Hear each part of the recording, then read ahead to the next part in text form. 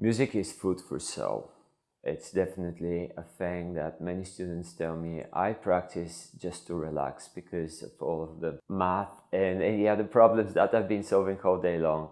It gives you the opportunity to um, get new ideas and have a better life. My name is Petar Kutin. I'm from Bulgaria. I've been in Qingdao for 12 years now. I work in YCS Qingdao as a music teacher.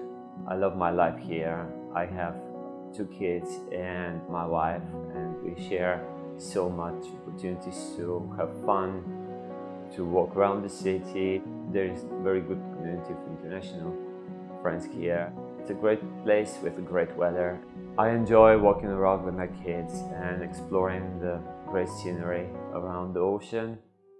Being a music teacher in an international school gave me the opportunity to work with children and educate them in music. It's my way to contribute to the big community here and to enjoy all of this big growth.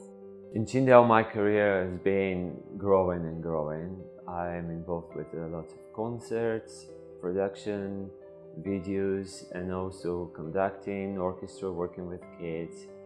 Children in Qingdao, they're very, very smart and they're very much open to everything.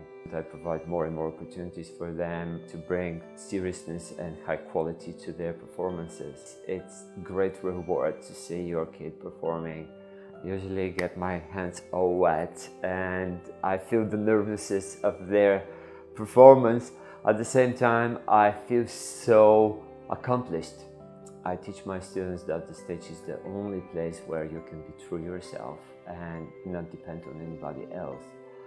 So that's the time when their true talent shines and that they feel the power of their learning.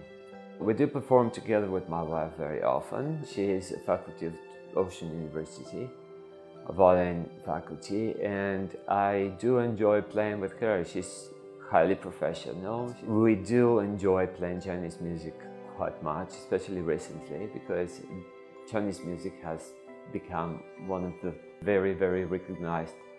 We do enjoy fusing Chinese music with Western and brings extra layer of taste to our pieces. It just brings me an extra door to open and explore more and more.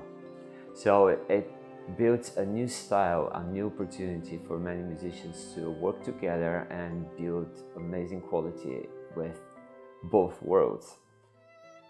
Music, I said, it's a language and it does bring people together.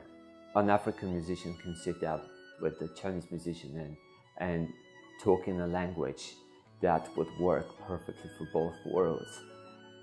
Qingdao is a very fast, rapidly developing city and definitely has the potential to become international metropolis. Recent years we've seen so much attention from abroad. I can imagine that in few years ahead there will be enormous opportunity. I am thinking how to prepare myself. I believe I'm on the right track, but there are so many unknown and different ways of communicating with music. Standards changing, exams changing, and I look for those opportunities. My name is Petar Kutin and I'm in China.